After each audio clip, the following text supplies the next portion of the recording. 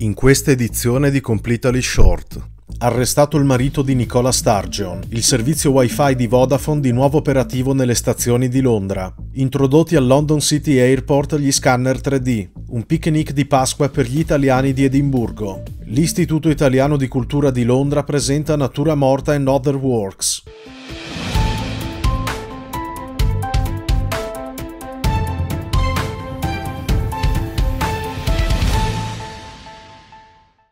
Scozia. Arrestato il marito di Nicola Sturgeon. Ieri il marito dell'ex primo ministro di Scozia è stato arrestato. Peter Murrell, ex dirigente dell'SNP, è stato preso in custodia dalla polizia per un'indagine sulle finanze e sui finanziamenti del partito. Precisamente Police Scotland sta indagando su 600.000 sterline spese per motivi diversi da quelli elettorali. Nicola Sturgeon nel mentre ha negato di essersi dimessa per via delle conseguenze che avrebbero potuto verificarsi con le indagini. Metro, il servizio wifi di Vodafone di nuovo operativo nelle stazioni di Londra. Il servizio era stato interrotto a giugno 2021, suscitando non poche polemiche e dibattiti. Ora la situazione pare essersi risolta per i clienti Vodafone che possono nuovamente navigare su internet sulle linee della metro. Per l'occasione non è stato fatto alcun annuncio, ma molti sono stati gli utenti ad accorgersi della ricomparsa della rete sull'elenco di tutte le reti wifi disponibili. Viaggi. Introdotti al London City Airport gli scanner 3D. Per l'aeroporto ad est di Londra sono finiti i giorni della sperimentazione degli scanner 3D.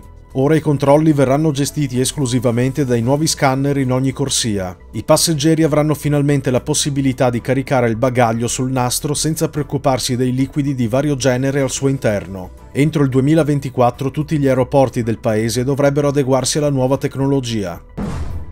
Scozia un picnic di Pasqua per gli italiani di Edimburgo. Il 22 aprile a Edimburgo dalle 12.15 si svolgerà un picnic pasquale per la comunità italiana. Ad organizzarlo la Girotondo Italian School. L'evento è aperto a tutta la comunità e alle persone interessate. La location scelta per l'occasione è il Sandial Garden presso l'Inverleith Park. Per ulteriori informazioni visitare la pagina Facebook della Girotondo Italian School.